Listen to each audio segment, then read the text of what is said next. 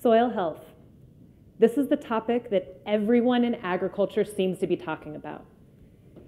Even the New York Times and presidential candidates are talking about how soil health has the power to reinvigorate rural economic sustainability and to combat environmental challenges from climate change to water pollution. The problem is most people, even those involved in agriculture, don't really know what soil health means. They can describe the rich smell of a healthy soil that brings a smile to their face. They can talk about the dark color and the crumbly structure that's held together by roots that is abounding with pore spaces and tunnels. They can talk about the springy feel under the step and the way that a shovel moves deep into the profile with ease. But being able to describe and define soil health matters.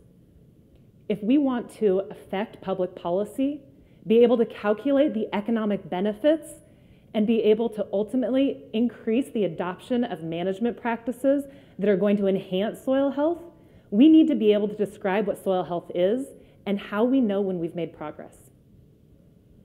The Food and Agricultural Organization of the United Nations uses the definition put forth by Pankhurst in 1997.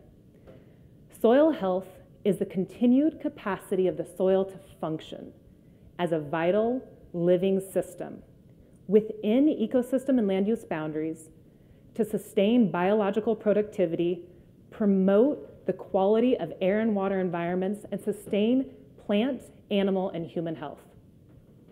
There have been many permutations and iterations of this definition, but at the heart is always the ability of the soil to function to its capability. The beauty of this definition is that it gives us the framework to assess soil health right there in the first line. The continued capacity to function. Function is an action. Function is a service. Function is getting a job done. And that's what soil does. Soil serves as functions. It, there are five main functions we're going to talk about. Soil decomposes and recycles organic matter. It infiltrates, filters, and stores water. It is a modifier of the atmosphere, a habitat for organisms, and a medium for plant growth. In another setting, we might also talk about some of the other functions of soil. It is the foundation for which we build structures. It is part of our cultural heritage, and it is a history keeper. But today we're going to focus on the functions that sustain biological productivity and the health of our earth. The soil is a living, breathing base of our terrestrial ecosystem. And just like a human, it can vary in its functional efficacy. That means that we can measure the health of a soil system by measuring how well it's performing each of the functions that we need in order to maintain the health of our planet. If the first line gives us this framework, the next line gives us the roadmap. What do we need in order to have a healthy system? We need a vital living system. We are part of that ecosystem. We are part of this ecosystem just like the plants that are rooted in the ground that are feeding the grazers, that are feeding the predators, the earthworms, the insects, and the multitude of microbes that are living underground. The more we come to learn about the world around us, the more we understand this immense role that the microbes are playing in controlling everything from our bodies to the air, the water, the nutrient cycles, and every ecosystem on Earth. In an acre of soil, there can be 10,000 pounds of microbial biomass. If that number doesn't blow your mind, think about how small one of these organisms is. Take one of your hairs and a very small razor and slice it lengthwise 50 times. That's the size of an average soil bacteria. In just one thimble of soil, there can be a billion of these soil bacteria and miles of fungal hyphae. They're connecting plant roots and mineral and water and nutrients, making this whole world under our feet. And these microbes are the unseen heroes of our story. They are the ones performing these functions. The next bit of the definition is a bit of a caveat, because if we've learned one thing in soil, it's that it depends. What should I grow here? How much carbon can this soil store? What are the right management practices for this given place? The answer to all of these questions depend on the soil that was developed in place. There are intrinsic characteristics the texture, parent material, slope of the landscape, and depth to bedrock that limit the capacity of these soils to function. There are also climatic controls. The moisture and temperature dynamics of a place influence the activity level of every organism in the system. And all of these variables interact to make a really variable system. That means that if we are going to have a soil index, a soil health measurement system, we need to be able to account for these intrinsic variables so that we can actually measure the dynamic characteristics that we impact through our management. To frame our story of these soil functions, I want to start by considering soil as a habitat. What's needed for any habitat to be productive? These organisms are going to need food, water, air, and shelter. If you think back to the functions that we talked about, they recycle nutrients, store and filter water, modify the atmosphere, and are a plant medium. So all of the things that are the functions that we need to get out of the soil are the same things that are needed in a habitat. So how do all of these come together into the soil? Well, it all starts with carbon. In order for a molecule to be organic, in order for it to be living or to have ever lived, it contains carbon. About 50% of organic matter is carbon, and carbon is absolutely pivotal in every aspect of the soil habitat. There are multitudes of microbes that are acting under the soil, and the vast majority of them are heterotrophic. That means that they need carbon, they need to consume carbon for their food and energy. Without that carbon, they don't have the energy or the building blocks to reproduce or build habitats or to cycle nutrients. Imagine for just a second what would happen if all of the soil organisms stopped taking dead organic matter, turning it into nutrients, and creating new life. There would be piles of bodies all over the earth, and life as we know it would stop. But the circle of life continues, and these carbon bound molecules are cleaved off into smaller and smaller constituent parts until eventually these nutrients are small enough that the plants can get at them. And in this way, our circle of life cycles through all of the trophic cascades of organisms always ending up in the soil and always cycling through the microbial communities. Sometimes it's hard to think about the scale that we are talking about. But I had an aha moment when I was in Puerto Rico. I was walking through this cave right here on the top screen, and I pictured myself as a microbe. I was moving through these pore spaces and looking at these organisms that are glued to these uh, mineral walls. And I felt like this, this is what it's like. This is the scale that we're talking about. Because these microbes, they exude materials out of their body, polymers. They're proteins, carbohydrates, nucleic acids, and lipids. And this is what they build as a matrix for them to live in. It creates this perfect system where they can survive. These extracellular polymeric substances join together to create biofilms to create this living habitat. If this habitat right here is a, is a biofilm on the outside of this cave wall, I like to think about what is going on in that habitat. And I often consider it as something similar to a self-sufficient town, like we have here in this picture. What is needed in that self-sufficient town for it to keep moving? What kind of buildings, what infrastructure, what factories are needed? What are the jobs of the organisms living there? This main road where you see the lights, that might be a root hair where products are moving up and down and the organisms have built their homes and their businesses right there along that main thoroughfare. Maybe there's a wastewater treatment facility and a food production facility. Maybe there's an energy generating uh, power plant and maybe even some open spaces. This is that self sufficient town that we use as this idea of what's going on in a biofilm.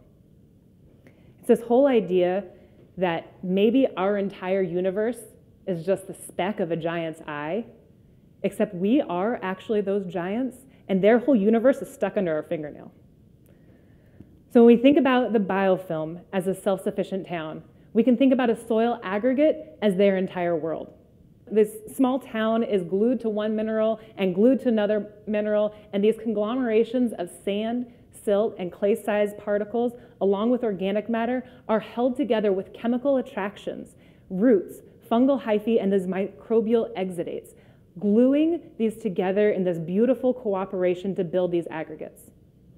We talked about how a habitat might be able to um, provide food and water. These aggregates, when these microbes get together and they build these aggregates, they create large pore spaces, and that allows for the rapid infiltration of water. When they glue them together, there also are some particles that are held very close together, allowing them to store water. The organic matter and exudates themselves can hold up to 500 times their own weight in water, further increasing their ability to hold and store that water. So in this way, this built habitat that the microbes have created allows them to store, filter, and deliver water to the plants. I've talked a lot about these uh, exudates like glues, sticking things together. You might also think of them kind of like snot. They can be sticky and slimy and even stretchy, and under the right environmental conditions, they can get dried out and crusty. But this physical consistency matters when we're talking about nutrient cycling. Microbes rely on enzymes that they exude out of their body to break down the organic matter in the system. They spend a lot of energy to make these enzymes, and so when they exude them, they go out into this extracellular polymeric substance and they get stuck. Then when organic matter comes by, it also is going to get stuck in this snot-like substance. And then the enzymes are right there next to the organic matter, and the microbes are right there too, so that they can pick up those nutrients and pass along the genetic information to their, their offspring and leave something over for the plants to take it up. So in this way, this built habitat, this extracellular matrix, can also serve as a factory for recycling organic materials. This function is intimately tied to the next, which is the atmospheric modification. When an organism takes in carbon, when a microbe takes in and eats carbon, the major metabolic waste product is carbon dioxide. When there's a lot of oxygen available to those microbes, they can process that organic matter at a pretty rapid rate. When a microbe needs to make a new cell, that new cell is going to contain, on average, somewhere between 10 carbons for every one nitrogen atom. And that means that when we have been feeding the microbes this diet that's really high in nitrogen and constantly giving them new and fresh oxygen, they can cycle these nutrients at a really rapid rate. And so what they've been doing is mining all of the carbon in the soil and using up as much as they possibly can. It's been estimated that about 50% of the carbon that is in our agricultural systems has been lost to the atmosphere. This is where we have this great hope, this hope for an environmental change. We have the ability to start taking soil management from a net emitter of carbon and moving it towards a system to store carbon. When we change our focus to feeding the microbial community by adding organic matter, using cover crops, increasing diversity, and reducing tillage, we can actually have an impact on the atmosphere by taking that carbon and putting it back down into the soil. So we've talked about all of these things as part of our habitat. But the habitat, a diverse habitat in and of itself, has value. Most organisms cannot be grown in isolation. They need each other to make these biofilms so that they can each do their little part of the job. They need the carbon exuded from the plant roots to give them their nutrients. They need the cover to maintain their temperature and moisture, and they need this mix of predator and prey to keep their populations in check. This diverse habitat is where each of these single organisms that only has a genetic potential to do a tiny bit of the job can all get together to form this complex system in the soil. It is the diversity of this habitat that provides the system's strength, resilience, and the ability to adapt to change. The last function that we're going to talk about is soil as a medium for growing plants. I like to think about the soil rhizosphere, which is the area right around the plant root, as the hottest bar in town. This is the place where all of the organisms get together to talk about their triumphs and tribulations, to eat a big, juicy burger, to drink a libation, and maybe exchange some genetic information.